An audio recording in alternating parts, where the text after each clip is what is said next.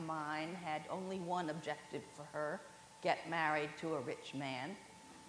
And she, uh, nevertheless, created something no one had ever heard of uh, Hull House in Chicago. And she, she changed the world in that way. And she, she did all sorts of things, but did it with her own style and her own way. And I thought, well, my goodness, if she could do that, perhaps I could do something of importance. And then the question was, what? Um, I came to New York because uh, I married a New Yorker, and we stayed in New York. And uh, I was um, beginning to organize something called the National Women's Agenda, which was an, a 10 point agenda which answered the question what do women want? And I had managed to organize the leaders of almost 100 national women's organizations to embrace this agenda. And it was an extraordinarily diverse group. It was the National Council of Negro Women, of Puerto Rican women, of Mexican women, the Lesbian Caucus of the National Gay Task Force, the household workers, union women, just went on and on. And even the National Conference of Women Religious, the nuns' orders. And I got them to agree to sign on to this agenda, which uh, has all of the points you might imagine about childcare and right to one's own bodies and on and on. And we were going to take the next step and present it to Congress. And I couldn't get these people to move. After we'd had all these meetings, they'd hammered out the language. And I began to think my problem was an historical problem. And I called Sarah Lawrence College where a woman named Gerda Lerner had founded the first women's history program in the United States. I explained that I was an activist and thinking that I had a historical problem, and I wondered if she would have a consultation, consultation with me. Big pause, and she finally said, You know, no, no activist has ever called me to have a historical consultation, but come on out. So I went on the train to Sarah Lawrence in Bronxville and I essentially sat at her feet for an entire day as she gave me a personal lecture on the history of women's organizing efforts. And I learned from that that all of the successful efforts by women, national ones, had been organized from the bottom up. And I had gone to the presidents first. So we switched the whole program and went back into the states, got the states to go and tell get the, pass it, take, take it to the president so the presidents could be sure that when they led, someone would follow. And that, uh, that was a big lesson for me because it showed me that history had the capacity to offer a strategy for a present day problem. Just as Jane Addams had shown me that history could offer a role model when there is none exactly that you need in your own life. Um, and then I was asked to speak by the Kettering Foundation to school superintendents. This is in the 1970s.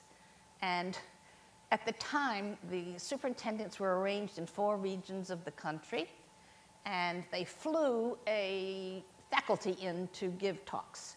They wanted to introduce the superintendents to the wider world. The person who invited me told me that in all the years I was the first woman to be invited.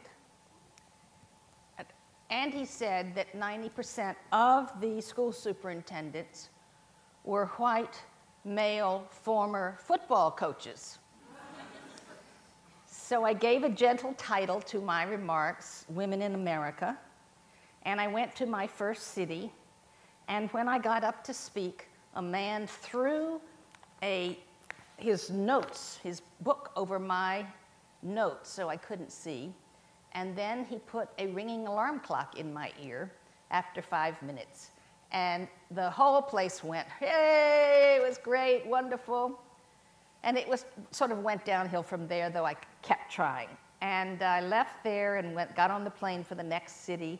And in the next city, these guys got up out of their seats and screamed, Your husband let you run around like that? And then they threw spitballs at me.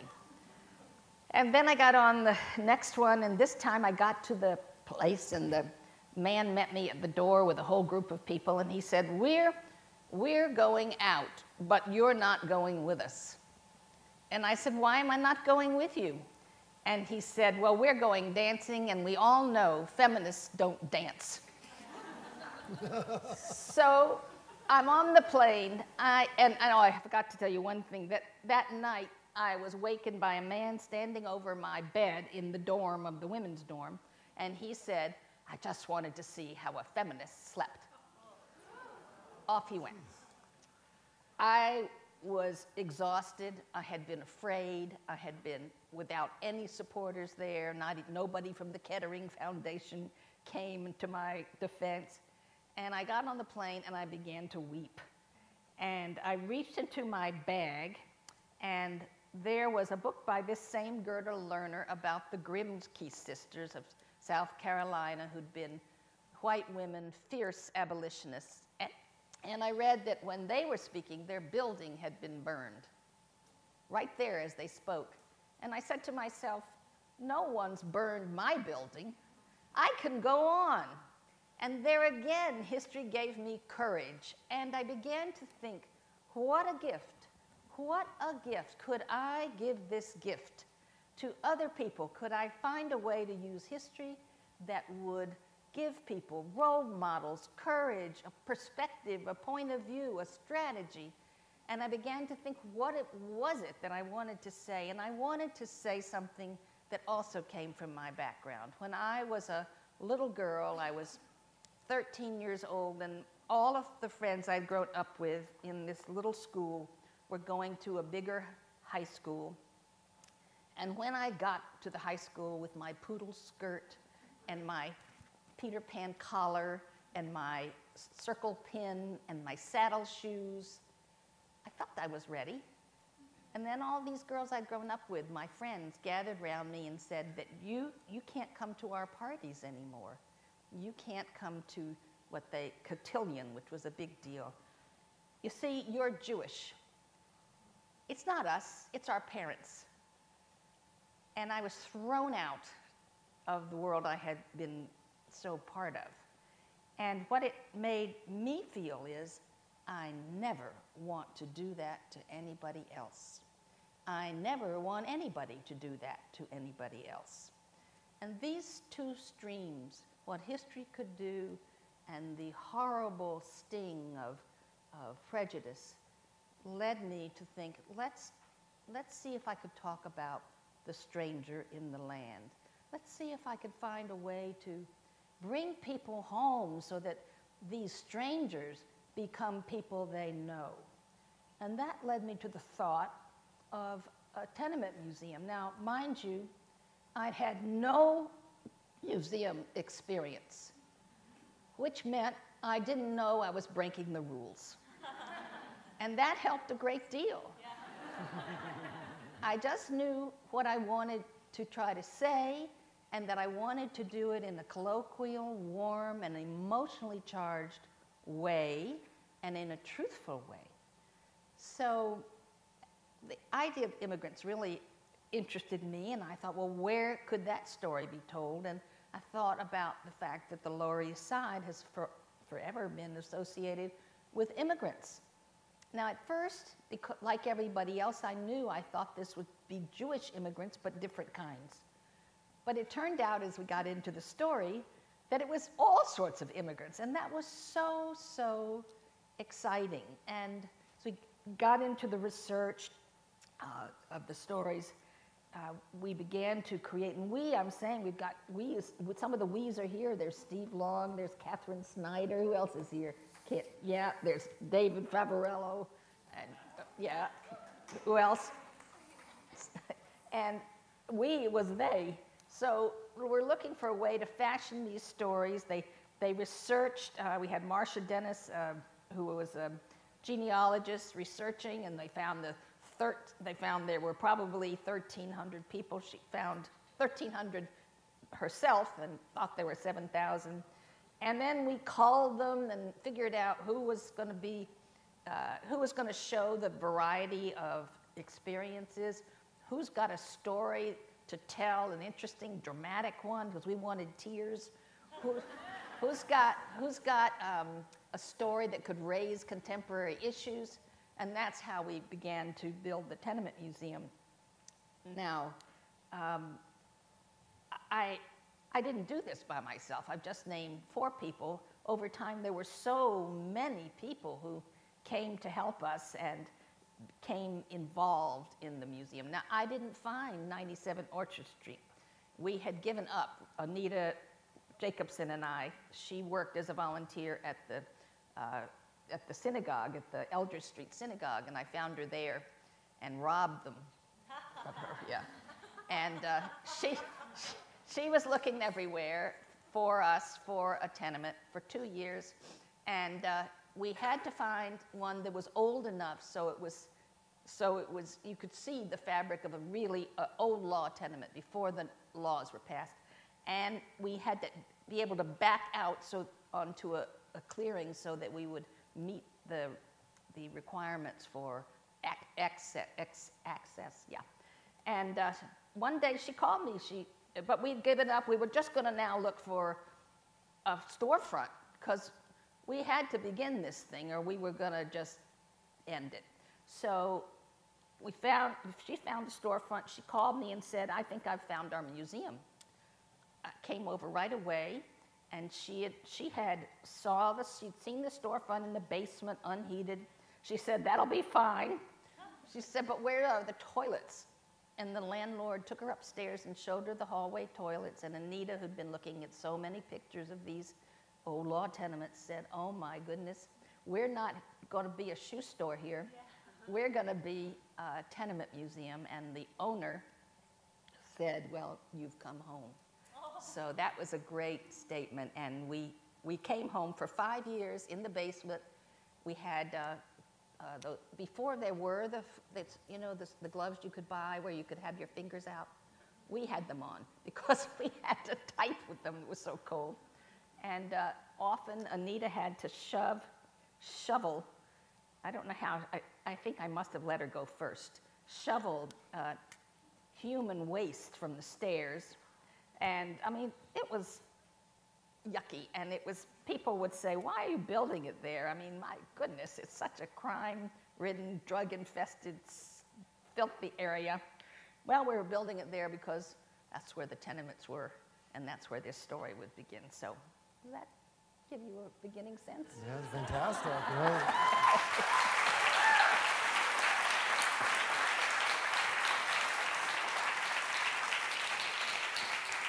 Ruth and I were chatting backstage, and we established one important fact that two thirds of the presidents of the Tenement Museum have come from the South. And Southerners know how to tell a story, don't you think? Now, there had to have been doubters in the early days who were saying some of the things that you just said to you. How did you answer them? Well, there were, there were some expected doubters, and then there were some unexpected doubters. Um, one uh, man who I thought, Anita and I gave tours of the tenement when there was nothing there but the ruin that was illegal, but what can you do? That's what we had.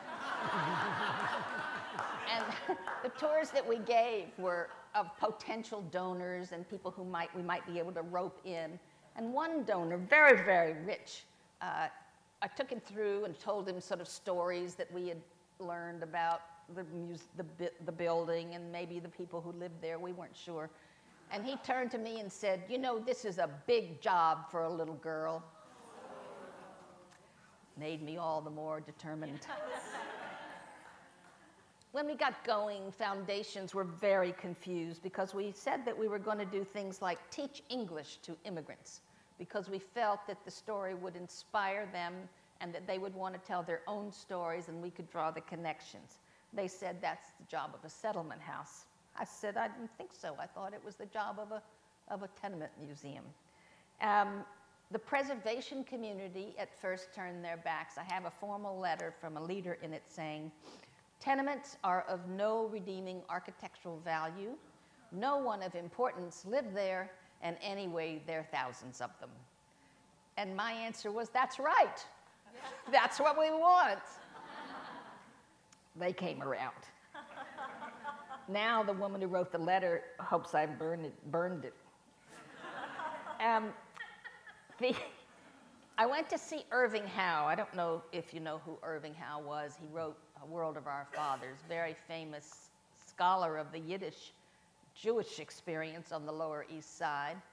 And I and a socialist, and I thought for sure he would be supportive. So we met in Katz's Delicatessen, and he said, I won't support it, not a bit.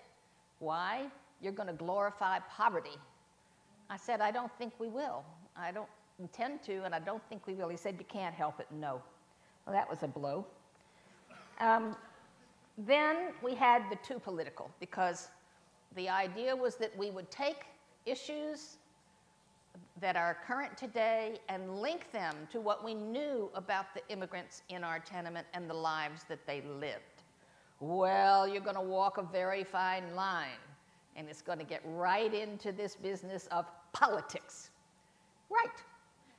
We're going to walk a very fine line, and we're going to tell the stories, and we're going to show how they relate or don't relate to the contemporary issues. I have no apology for that. Uh, a surprising uh, group that opposed us were the, um, the, the institution of the Orthodox Jews controlled by Sheldon Silver, who's now waiting to go to jail. Happens.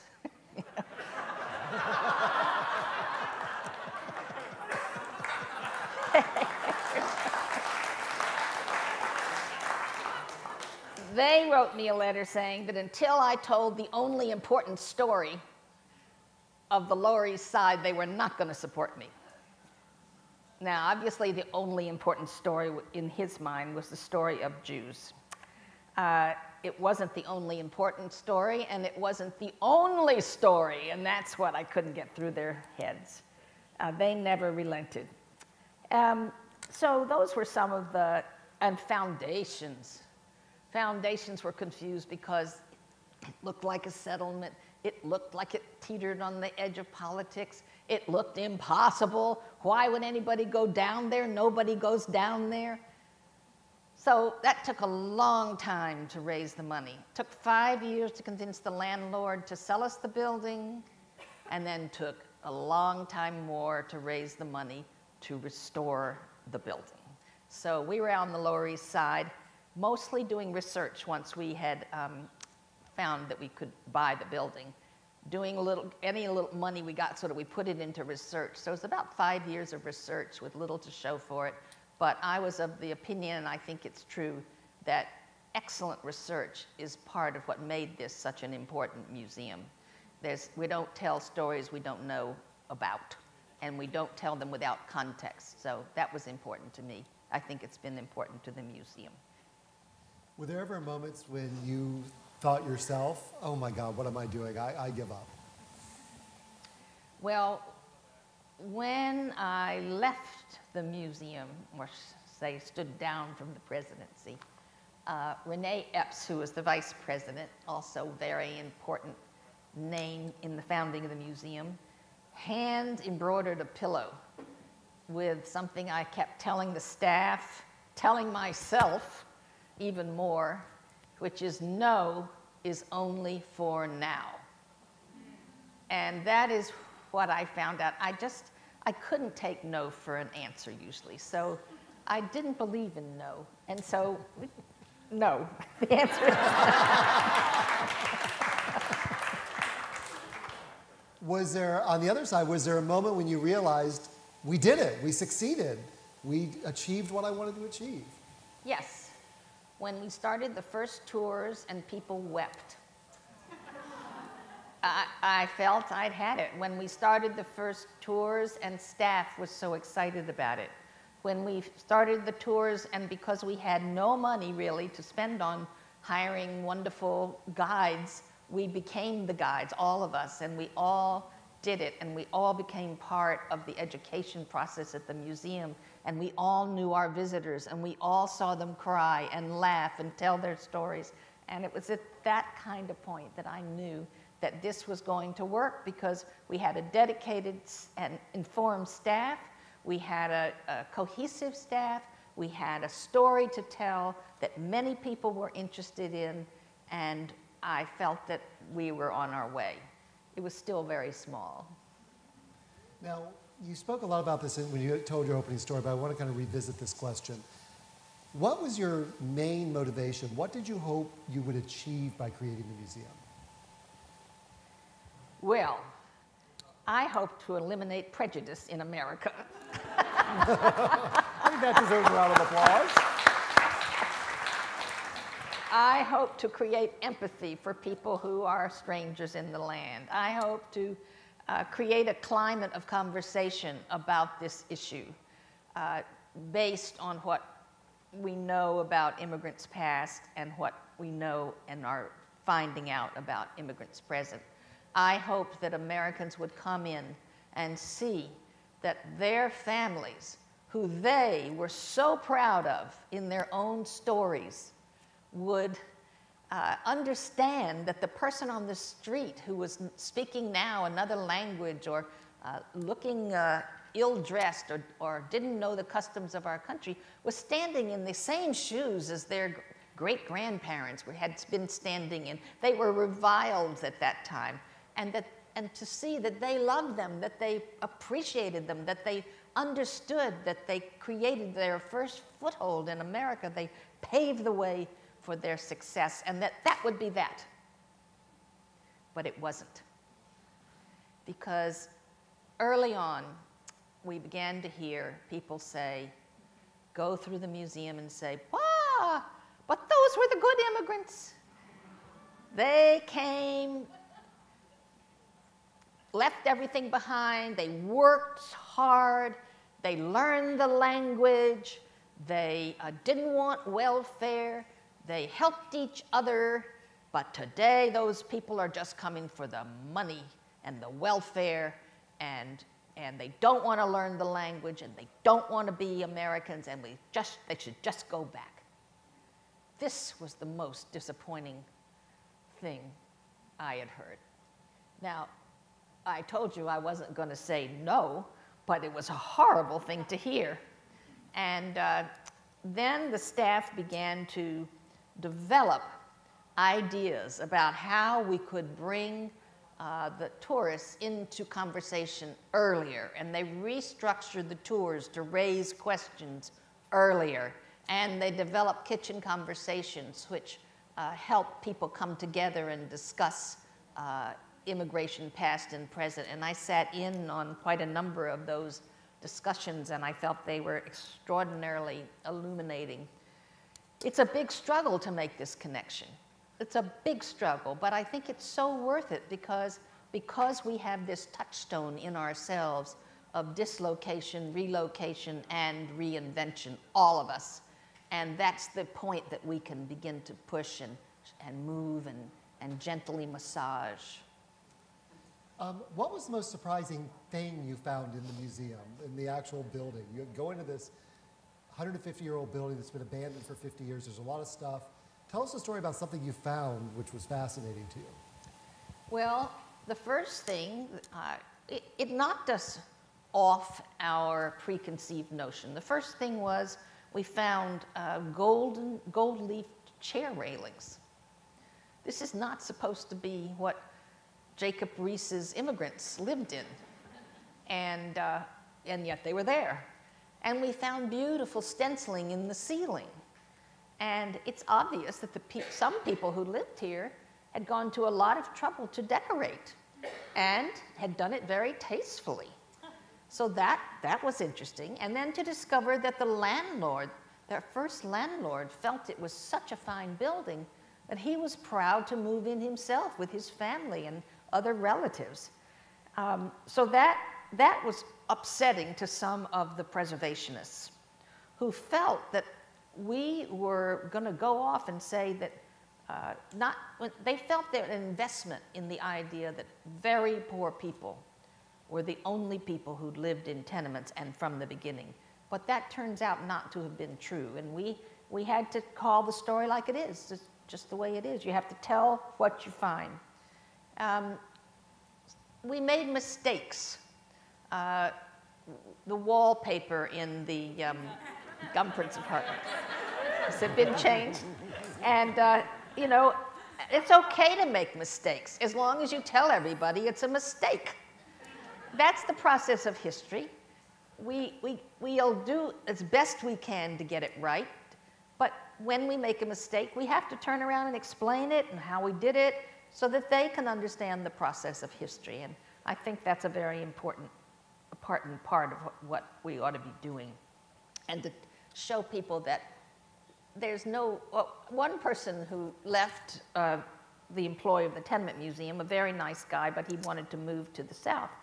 I asked him what he'd learned from me, because he was very thankful, blah, blah, blah. I said, What did you actually learn? He said, Well, I learned that you don't have to know everything.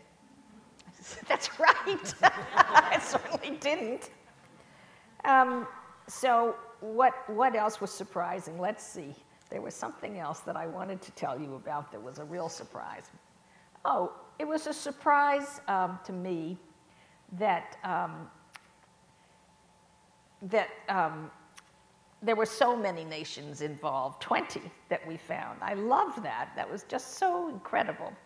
And I was surprised by what came out uh, in our conversations with the descendants. And I'll just tell you one story, which all of my old tenement friends know very well. We headed, we were, we were planning to create the apartment for the um, showing Shiva. Who's that? Pop quiz. you know, my husband says that at dinner, instead of talking about, you know, current events for, for 20 years, we talked about the Rogarshevskys, the Moores. How are the Moores today? Well, I've just lost a baby, you know. It's like yeah. So um, the, the, uh, the, the number of immigrants, how many nationalities, and I was so fascinated when we got to the story of the outdoor toilets and learned that when they came inside, it was many immigrants who didn't want them. They felt that they were dirty. Why would you put them inside your house? I thought that was a very fascinating uh, thing. And then I guess one of the great uh, exciting moments was when uh, a bevy of police officers showed up with crime photos. And these are were from the 1890s, and you all know that people who lived in tenements then wouldn't have spent money on having a photographer come to their apartment to take pictures of them. They went to the studio if they had an occasion. But here, was, here were the crime photos with, you know, this lady's head in the oven, this person's with a knife stuck in them. And they must have been so shocked, these police officers, when we gathered around and said, oh, Look, there's a calendar on the wall. Look at those curtains. See how the furniture is. But that was a great, that was a really great find. So those are some of the things. Well, tonight there are over 150 people here who either work at or have worked at the Tenement Museum. Um, if you could say anything, give us advice, give us insights, give us a bit of history for those of us who are carrying on your legacy, what would you like to tell us? Keep on keeping on. This is not going to get easier, especially right now, and you're going to hear the same thing we are used to hear too, and you have to keep finding ways to bring people into the conversation in a way that's respectful and I would congratulate you and Kevin on a job well done. I see what's happening here, and it's just tremendous, makes me tremendously proud of what's happening at the Tenement Museum and of you. Thank you.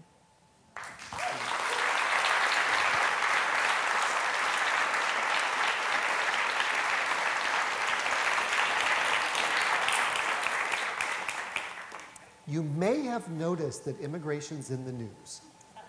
Um, I'm curious what you think the role of a museum is when the issue it addresses has become one of the most politicized and polarized in the country. I think it is to explain uh, what immigration has always been, but I think it's very important that we refrain from depending on saying we were all immigrants, or we all have immigrants in our families, or we are immigrants, or we are migrants from whether willingly or no. I think the thing to say is, or to do, is to demonstrate in very clear forms, and, and you all will be very creative about this. What is it like to be, uh, to be a newcomer here in America now? What do you eat? How do you handle money? What do you do when the children speak English but you don't? What, do you, what, what happens when your family turns topsy turvy? The authority which once rested with parents, now it rests with the child. What happens in the family when the children have to go to school and explain to the teacher what the bad things the teacher just said about him? What happens to when you go to the doctor with your parent and have to answer the doctor's questions because, and they're all very personal and tell your parents you're having to tell them that? These are so many stresses. What about, what, what do you do with a budget? How do you handle having almost no money? How do you find housing? Those questions were answered here by real people, and you know those answers. And we could make that comparison very, very clear, and we could bring contemporary immigrants to the fore to tell those stories with the Baldizzis and the Levines and the Rogarshevskys and the new people who've added to the museum. And I think that might help in this uh, rabid situation. Um, but we have to try it, and that's the other thing I hope we will all remember that we have to try things, and if they don't work, so what? We have to try. Otherwise, we won't know. And if it doesn't work this way, maybe it will work that way but it's very important to experiment. And this museum was built on, a, on, a, on an experiment. And there was no reason really to think it could work. And it did, and it does, and you do, and you do, and you can. That's what I say. Well, um,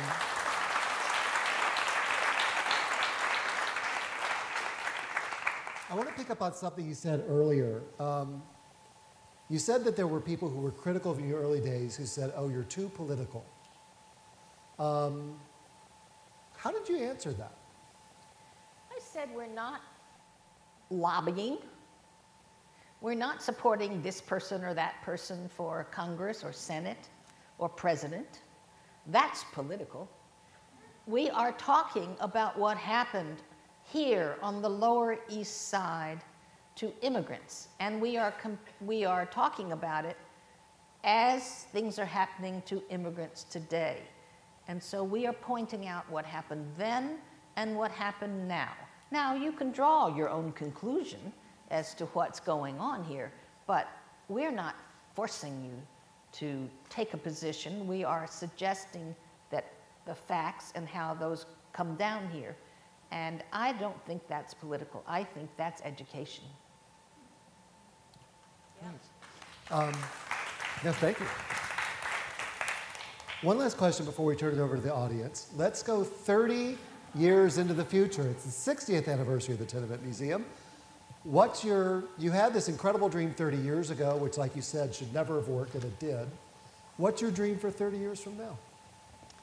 I hope, for instance, I'll tell you my first concern. I, I feel that this uh, the blocks around the tenement museum need to be landmarked because otherwise the landscape that immigrants knew will be obliterated. There will be uh, all sorts of tall buildings. I mean, imagine this in the midst, this one little tenement in the midst of skyscrapers or raised properties. And I, I think that the uh, landscape is part of this story because it was all these tenements all these people living in such dense, uh, so densely together. And uh, I think that needs to be preserved for people to, to better understand it. So I hope that uh, there will be an effort to, to landmark it, the area, or just a few blocks even. Um, I like Kevin's idea of taking these messages out. I think it's very, uh, you know, it needs to be thought out very carefully, and I'm sure you all will uh, but how to take it out. Because one of the things that is so important about the museum and so effective about it is that you're standing in the story. You're standing in the story. And you could take that message out in a book, you could take it out in a song, you could take it out in a play, but how do you take out standing in the story? So that's the challenge. But I think, you know, I think you all will come up with a solution, and I think that you'll come up with many ideas before you hit on one that is just right. But I think it does uh, require, I, I think it is worth taking it out. So.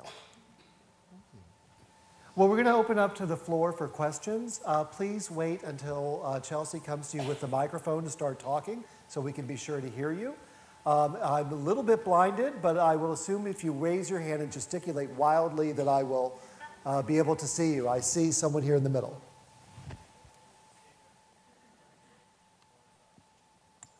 Hi, I'm Grace, big fan. Um, how, how is Anita? Nita's great. Good. We, we just had dinner recently, and um, we stayed in her apartment overnight.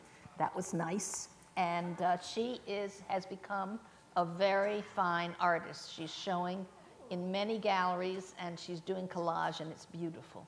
So she's selling and showing, and has gotten a new uh, career for herself. She's great. Yeah, yeah.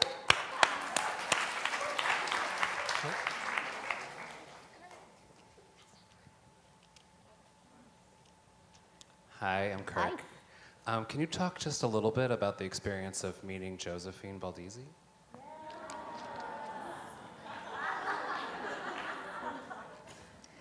Josephine Baldizzi was so overwhelmed with the idea that her family story was going to be turned into a museum exhibit. That was just shocking. And she worked tirelessly with us to show what her uh, apartment looked like and to tell us stories. And, and we, we loved every story. We, we treated it like the treasure it was. Uh, we had a renderer do a uh, rendering of the apartment as she described it. And actually, I have this rendering, and if the Tenement Museum wants it, just has to ask. but this rendering showed under, uh, near the stove, I think, darkness on the floor. And I showed it to Josephine, and she said, Please don't show that to anybody. And I thought she was worried about the crack in the, on the wall, which she had described under the cross. But no, she said, that people are going to think that's dirt. And my mama was Im- an impeccable cleaner. I said to her, whenever I showed it, and if I give it to you all, you have to do this, I explained that it's a shadow, not dirt. Uh, she, she, like everyone we met who had lived here, would never have wanted their children to live here at 97. It was cramped and it was hot and it was, uh, it was loud and it was, it was you know, sharing the toilets was a pain, and you knew everybody's business, and there were many things about it that were not good. But she said, and they all said, My children will never, ever have the pleasure of real community. And I think that's a very important thing. And um, the, the, uh, when we look at immigrant communities today, they are recreating that that sense of community that we have so often lost in our suburban or high rises or whatever. So I think we have something to learn from them, and that's another thing that I think is um, extremely important. I'm just going to do a quick segue because I've just come back from uh, uh, Zambia. And in Zambia, we visited a village, and the village was um, had mud huts, circles of mud huts, and in a circle uh, made of mud and wood were mud huts with thatched roof and mud floor, no windows, and a family might have four or five of those houses in their circle. And we were led around by a villager And uh, it was, we saw children coming uh, towards us, a lot of them with sticks. And the woman said, The children have to work here. And we said, Well, do they go to school? Yes, they go to school, but they have to work. They, they're, one of their jobs is to gather the sticks for the firewood, start fires. And then we went on and we, um, we, she told us that the whole place was run by a chief. And uh, that's hereditary, and that this village was big, so they had sub chiefs. And uh, before we got to that, she told me, I said, What happens if somebody's sick or doesn't, isn't able to earn any money or have any food? She said, Well, we help them, of course. And then, after she told me about the chiefs, I said, What do you do if you get a bad chief? And she looked at me without missing a beat and she said, We poisoned him.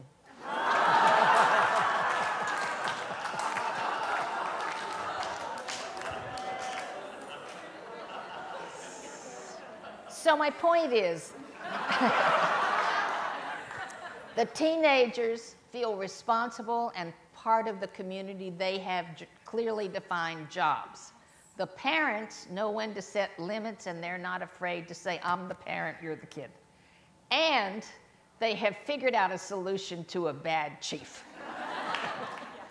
it's important to- for us to point out what immigrants bring, even now, even when they're poor or don't know the language or, or don't know the customs. They bring a lot, and we need to lift that up.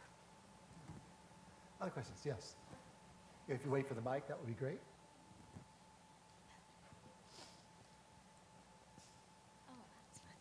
Hi, I'm Shayna, also to echo Grace, big fan. Um, I'm curious, you spoke a lot about reactions uh, nationally uh, about starting the Tenement Museum. I'm curious about what was the community reaction towards starting the Tenement Museum? Well, Sam, is Sam still around? Oh, yeah. Said to me one day, You know, I can't figure it out why all these people are so interested in this rundown building. Uh, that was one reaction. Another reaction from the merchants was that we got all these people coming, but they didn't get them. And we tried to uh, address that with variety of ways. We, we tried uh, uh, put Pamela Keech, our wonderful curator, curated all their windows so they looked like they were part of the museum. And we tried to have a program where you'd go in and try to find out about their immigrant history. But the fact was, at the time, most of the stores weren't stores that people actually wanted to go into. And we couldn't do anything about that. Um, people were no longer uh, willing to go into a store where the merchandise wasn't displayed. And if you were a woman, go in looking, say, for the lingerie and have the guy look at you and say 36C. I mean, that's the Lower East Side at this time, and they just, they, they'd already shopped at Bloomingdale's, so it was a problem. The, the stores were going out.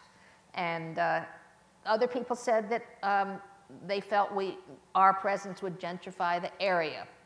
And my answer was, what's gentrifying the area is the lack of, of housing stock in New York. And now, for the first time, these landlords are seeing that they could make something of them and make money on them. And we weren't encouraging the landlords, but they were doing that themselves. So uh, that was an argument. Um, we had, as you know, a terrible problem when, we, when the state of New York decided to condemn the building next door to us. And it, it came about because we were told by our architects that the building was in, um leaning against ours and would severely damage ours. And we told that to the state, and they said, since, the, since it's empty, we'll, we'll go ahead and condemn it and pay the owners the uh, market price. Well, that didn't work at all. So they, the owners um, got, made it appear that many, many immigrants lived in the building, which they didn't. And uh, we just lost the public opinion uh, thing on that. So that was that. Um, but there were other people who cheered us on, you know, and some, some became board members. The Business Improvement District was not very progressive, so it had questions about the tenement, but mainly back to feeling that it um, was uh, not, not giving the merchants our visitors. So again, it was hard to do anything about it. The schools liked us very much. The, uh, some of the churches liked us very much. We had good relationships with the Catholic Church and with St. Augustine's, the Episcopal Church. And um, we tried our best. We had field trips uh, as a regular part of our staff meetings to go meet the community people and the organizations, and we made a lot of friends in that. Um, so it was, it was yes and no. I think that's really what it was. Thank you. Looking towards the back to see if there's any questions back there. If uh, Chelsea, if you don't mind doing a, a sprint to the upper right-hand corner. Let's go. Applaud Chelsea, yes. Clearly she's been working out. Yeah. Ruth, I was wondering if you could talk about your recent project, the New Lebanon. Well, I had, you know, I, I, I try to take what's there. In New York, I took the tenement, and in, in uh, upstate New York, I live in a very rural community. And as I went into the community to get to know it, I learned that people did amazing things. And I thought that I could bring, if I could get them interested in teaching what they did, I could interest um, tourists in coming to learn from them. And there, the farmers and the people who did heritage cattle or made jam or slab pie or, or uh, knew how to track animals or hunted said, Who'd be interested in this? And anyway, they're going to think we're country bumpkins and they're going to ask questions that are embarrassing and they're going to see how we live and it's not like their views of a picket fence in the farm. And I said, I think that was true. And so I, I established a, an opportunity for, to do just that. Um, at its peak, 70 different people in town were showing what they knew how to do to visitors. Um, but I had to move to Denver. So at the third year, I realized I couldn't run it. I hadn't, uh, it wasn't stable enough to exist without me because there wasn't a budget enough. So I gave all of the people who'd been paid to do the uh, wonderful demonstrations uh, to the Shaker Museum, who needed programming. And so now, if you go see someone training horses to, training uh, dogs to herd sheep, you see it at the, at the Quake Shaker Museum, and you see how they did it then and how they did it now. Or if you go and find out how jam is made, it's with a shaker recipe, and so on and so forth. But it created income in this very poor town, so poor it doesn't have a grocery store. And uh, it, it got a lot of attention. And uh, then I created um, a driving tour, which tells the story of its early history. And uh, that's, uh, that's now in the hands of the Shaker Museum, it's, who's advertising it because it brings people into town. It's a multimedia driving tour of this early history. And it's a, the history is of the first evangelicals who were extremely progressive. Yeah. Maybe one last question? Go over here, please. I'm going to piggyback off that because we're uh, here from the International Coalition of Sites of Conscience, Oh, which you wonderful. also Welcome. formed. and so many of you may not know, but you, you founded what is now a global network of um, 255 members in 65 countries, all historic sites and museums using the past to um, address human rights issues today. So, would you mind saying a few few words about I would love to. The International Coalition of Sites of Conscience was, I, I got this idea when the umpteenth foundation said no. And I went to see the then president of the Ford Foundation, and I told her I wasn't coming for money, I was coming for advice, that I wasn't getting through to these foundations. And she said, What you're doing is so novel, they can't put it in any category. And so they're just turning you down. you need to demonstrate that you are the wave of the future, this idea is. So I wrote over 100 national uh, historic, historic sites around the world asking if they saw history as I did, which was a conversation starter for social change. And only eight replied. They were the slave house in Senegal, the Gulag Museum in Russia, the Liberation War Museum in Bangladesh, the Almshouse in England, Manzanar. And uh, then this was such a striking uh, eight that I went to the Rockefeller Foundation and said, Could you fund us to go to Bellagio, Italy, for a week? And I knew that no one, no one would say no if I could invite them to Bellagio.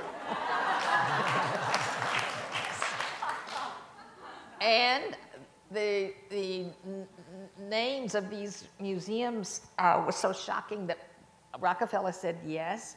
And then Liz Sevcenko and I went to Bellagio, and we had this plan that we were going to come out with an international coalition. The people who were coming had a different plan. They were going to Bellagio, and they were going to learn about other museums, and it would be really, really fun. So we got there, and we had days of every each person had to tell everything about their museum. And our question was, how do you use the slave house in Senegal to talk about slavery today? How do you use the almshouse in England to talk about poverty today? And we pushed and pushed, and then everybody got on board, and all kinds of ideas came out, and it was very exciting. And at the end of the week, we pledged, we were a coalition, and that uh, democratic values and uh, were going to be at the core of what we did and talking, getting people to talk about these contemporary issues based on the history of our site. And it was a tremendous moment. We all knew we were breaking new ground internationally. And, uh, and it was because the Tenement Museum had pioneered on it, in it. So, but we too needed to be improved. And we went back and, and began to do that too. So the International Coalition is working its tail off so effectively, and I'm, I'm about to see Liz this summer, so I'm so looking forward to that. Thank you for bringing that up. Thank you. Um, well, first of all, Ruth, as I expected, this was both a pleasure and an honor. Um, you're magnificent. There's no other word for it. Um, I believe very much that you've given us so much that we should give you something, or more accurately, we should give you something back. Um, on my first day on the job, July 10th, 2017, I sat down at my desk and I went to staple something. And um, I picked up my stapler on my new desk in my brand new shiny job, and I discovered that it had a piece of tape on it that said, Ruth's Stapler.